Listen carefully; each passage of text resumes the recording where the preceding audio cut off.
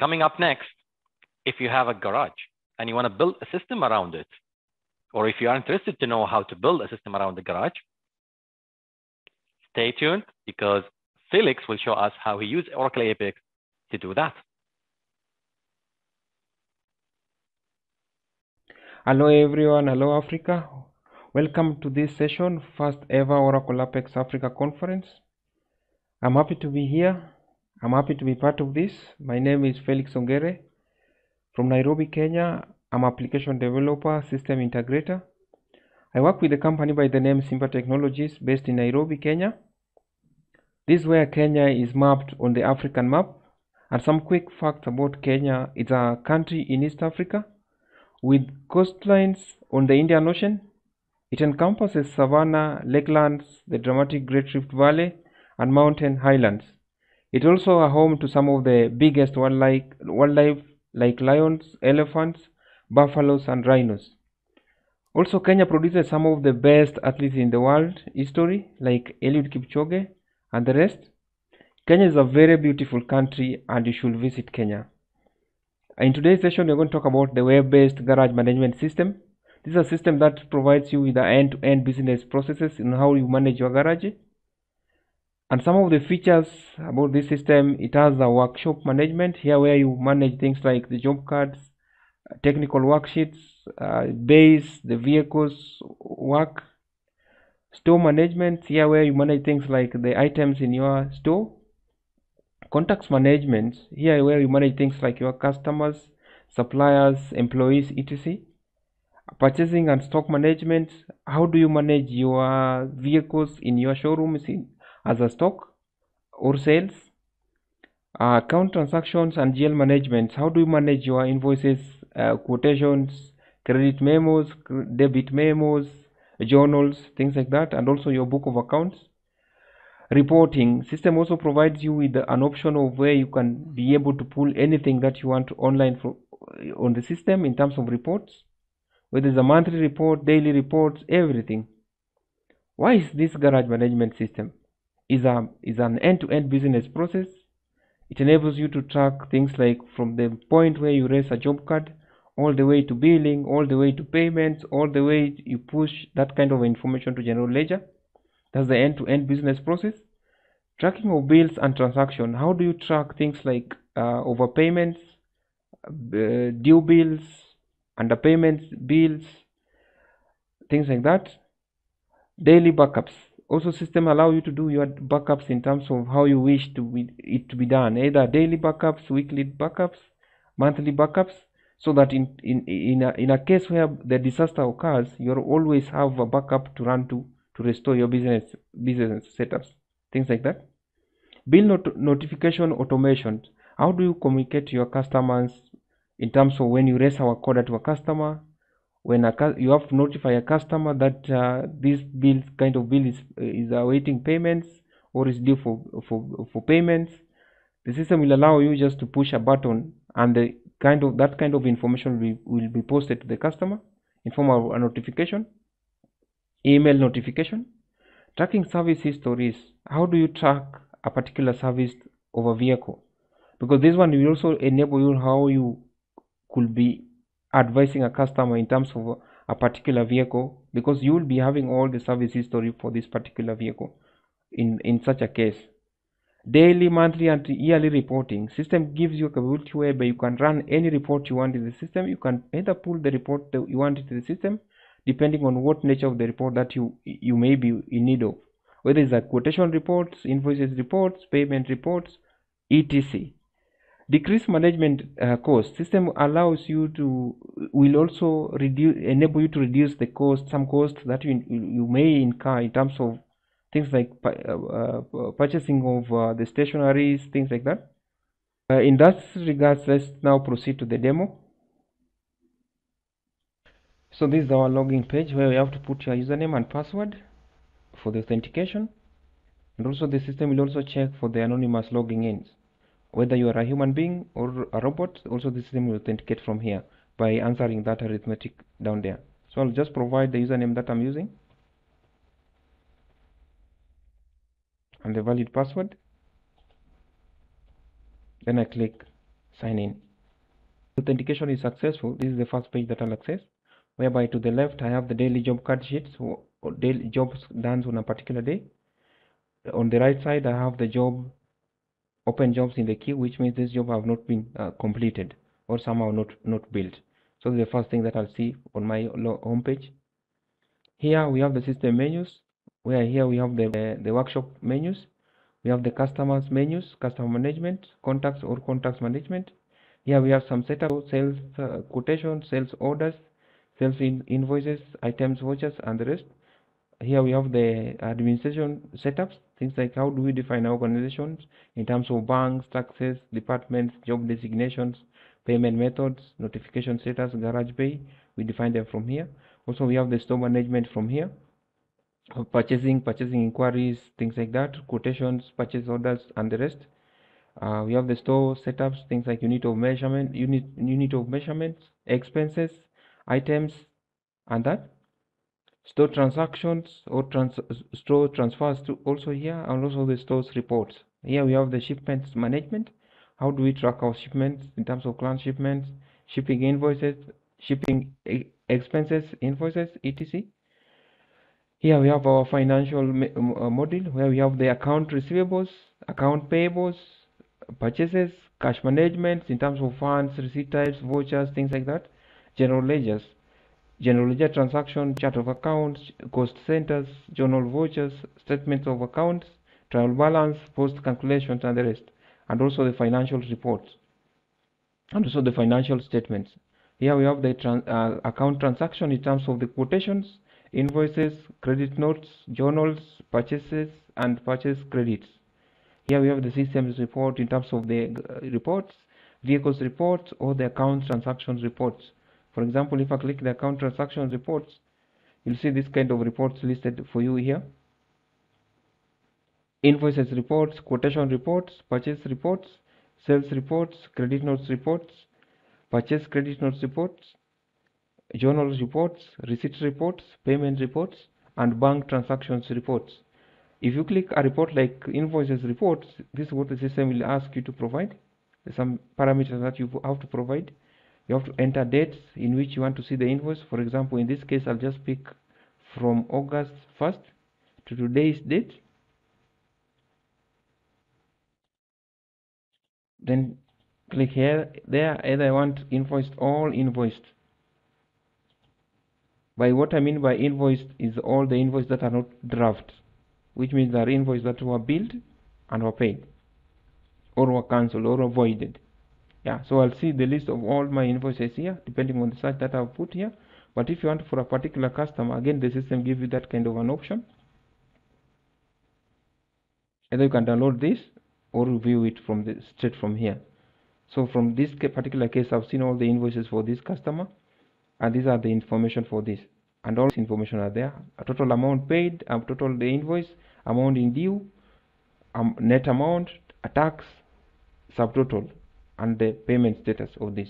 So here again also we have the menu for the system security where we manage our users, we add our system users, we update the, we unlock the accounts, or we can also change their passwords or update their password. So here, if you click, for example, there, you'll see all the list of all your system users. For in this case, I'll just pick this since I've logged in with the super user account. Only super user is able to see all these users, or the system admin is able to see all these users. So here you'll see all the information for this particular user, the username, this, uh, that, all that information, the department, job designation, and the rest. And also you can even update the password for this particular user if there's a need be. Also, the password is managed on a self-service here, whereby if you drop here, you'll see the option here for changing your password. Where you have to provide the, the new password and the old password. For example, it's different from here. You have to provide the current password, new password, and the confirm password for a self-service. But for someone locking the account, you won't provide the current password. You just go straight away to the new password and that. Yeah. Again, on the uh, on the super user account we have the this menu here for the setting either short form you can do from here or direct from here you'll see the location definition billing information, quick notes, base, you define base, repair types, uh, statuses, chart of accounts, accounting periods, banks, currencies, tax rate, default settings, integration, import bulk contacts, import bulk vehicles, import bulk parts, sales, inquiry sources. So the quick one, I'm just going to click on the location information. Here where we define our organization. And only super user is able to do this. The one-off thing you do once, and system recall the, the rest. Here you define the organization name, the addresses, town, region, all this information there, country, fax, telephone number, VAT, service tag number, if at all there is, and also the default currency you use.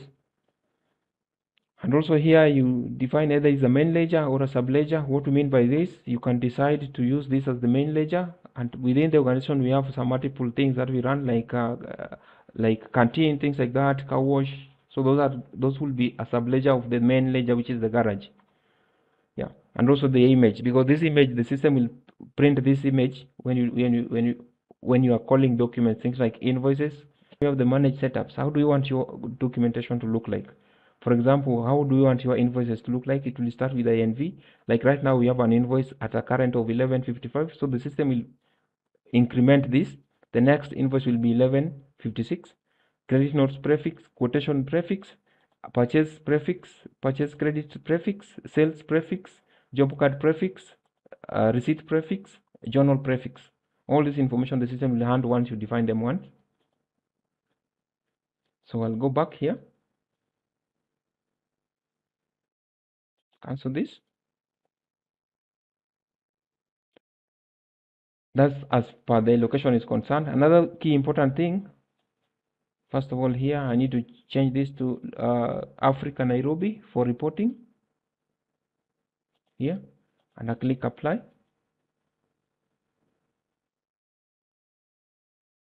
Once that is done, I'll come back here.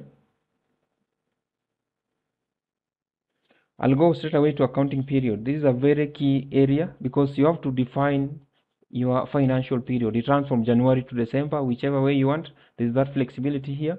And anything that is, if you define accounting period, you have to define the particular month that you need transaction to be happening on that particular accounting period.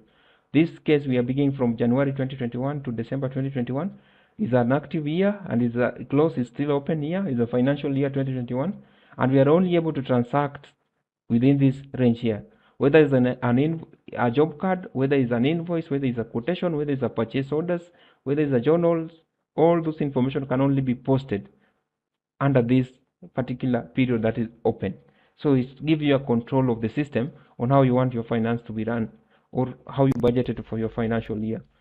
At the end of the day when you run your books of accounts report you're able to predict or know how this is how your organization does in a particular year financial year so that's one key area. Another key area in the terms of the setup is concerned is on the chart of accounts here. Here we will be defining your accounts like this. For example i've defined this labor labor sales. Here where we will be all our uh, our service labors charges will go to all transaction will be posted here. If it is a, is a labor charge things like that. Things like repairs charges all those will be posted in this kind of account. Account code is this account name is this revenue is a revenue account is a level revenue account is a bank no payment no report account yes is a balance sheet no, not yet defined is a standard bank all this information are there. Is active is it account code account code is it account mode is it a credit account or a debit account? And here where we define our segments. What makes a, an active or a complete account i'm going to use uh, number one is a se- segment one which is a scheme business unit. Two account the actual account is three activity is four and then spare is five. All these give me an active a complete account number which is this. So also system gives you that options. You define them. Once you define them once you the system will keep on reusing them. Here we have the banks. Here again we define our banks here we have the banks. For example these local banks here i'll pick our local uh, bank. Define the bank there. You define the branches here. All that information there.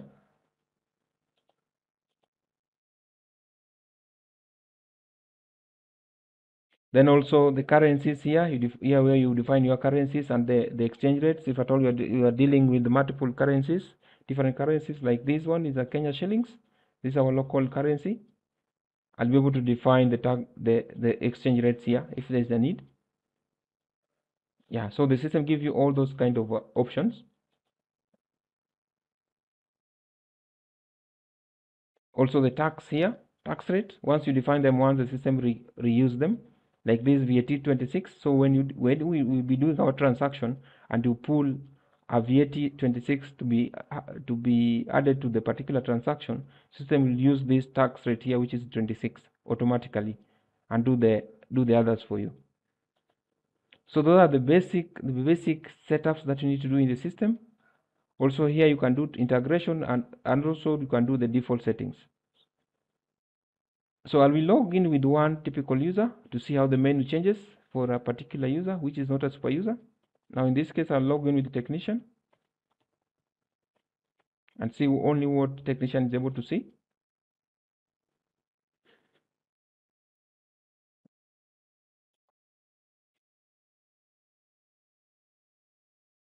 So this is the, this is the technician menu, which is limited limited only to the garage management, and also all, not all garage management is able to see. Here is only able to change the password and log out. So I'll go back again and log in with the super user so that we do one transaction and see how the system manages the rest.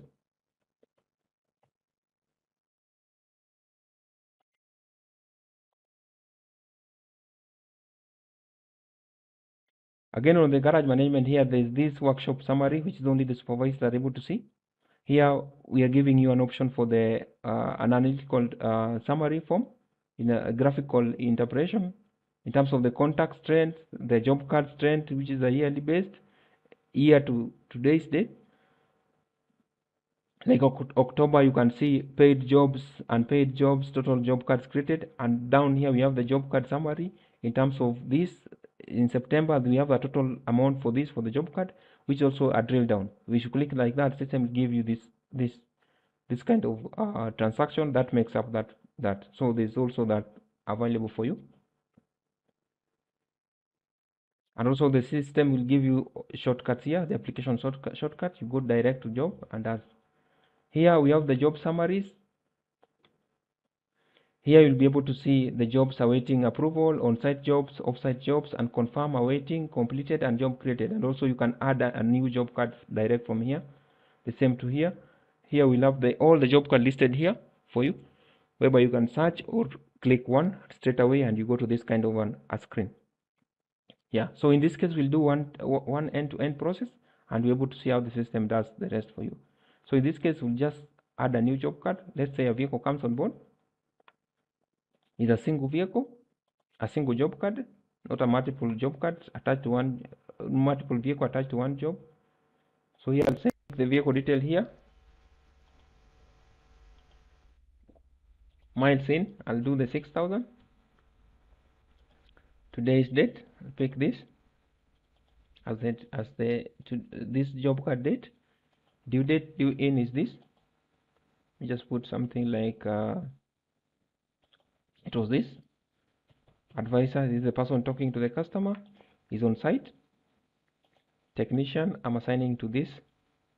Bay i'm assigning to bay 2 status it has arrived the vehicle. Create job card then you click create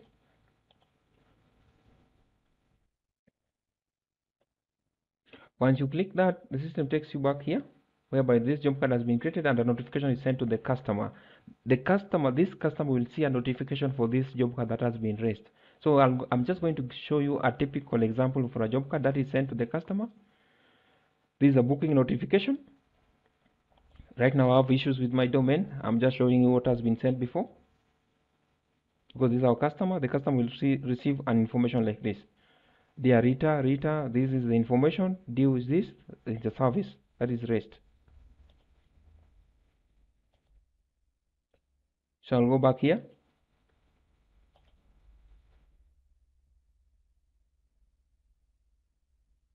This is our job card that has been raised today. I'll confirm this since I'm the supervisor straight away.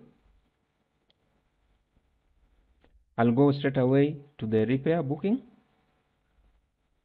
Pick this, the service, change oil.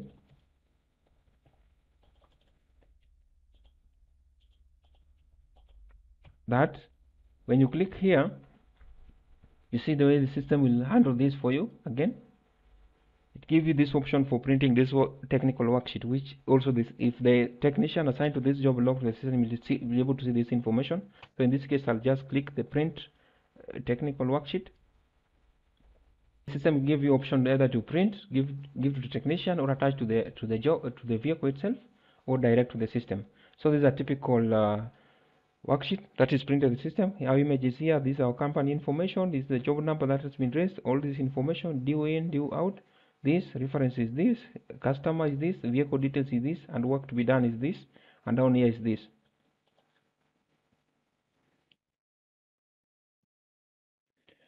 So let's say assume this job has been done and is completed and supervisor has confirmed. Let's go straight away to billing where you click this.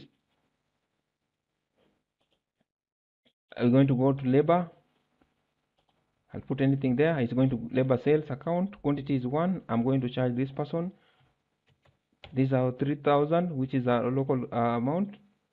I'll put, I'll give a discount of 5% just to show you how the system handles the same. And also the VAT, the tax is 5%. You see the way the system will handle the arithmetics for you.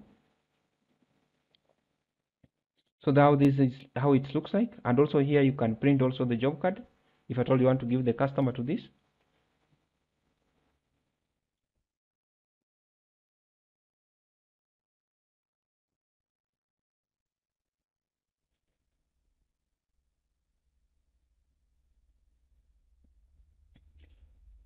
So this is our job card. So like. Uh, billing address is this. The system must pick the billing address for the customer. Customer company job card number is that. Work is this. Charges is this. And this job card is due for billing. These are the amounts, whatever. Everything is here. All these vehicle de details and also some book housekeeping work down here for the client to sign if at all you are giving the customer. And also this one. The discount was 5, VAT was 5%. Tax is coming to this. So this, uh, you see now the system handle that, that for you. So in this case, we, we are going to convert this straight away. You can either convert to quotes if at all the customer doesn't want to, to be billed at that point or convert straight away to invoice. So in this case, I'll just click here to convert this to invoice straight away. And this is our invoice. You click this.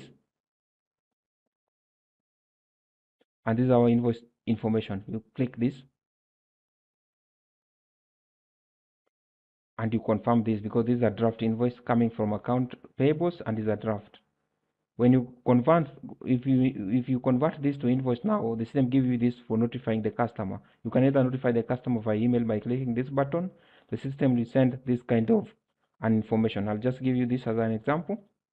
The kind of notification the, the customer will receive which is this. They are this this this this this the invoice due is this amount is this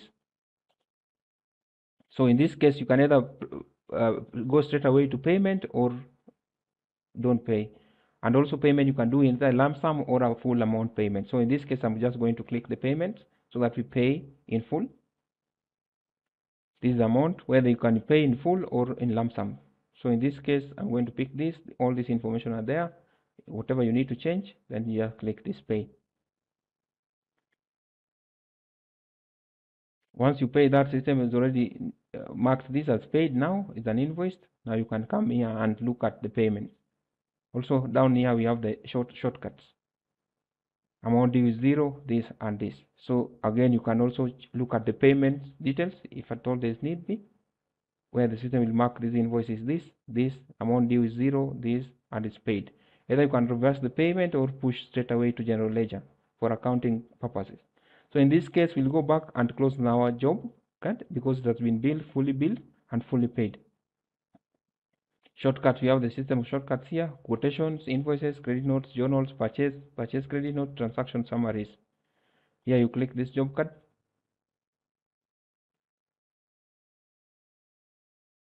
and now we go back here and now close our job card because it's already been built and is fully paid. Whereby you click here say yes. Miles out you can do this then you put now the next service date. Let's give it till January 2022 and click apply. Once that is done the, our job card now is not in this list but now it's on the completed job. So that's the workflow from end to end uh, business uh, end to end business process from the uh, raising the job card all the way to the payment.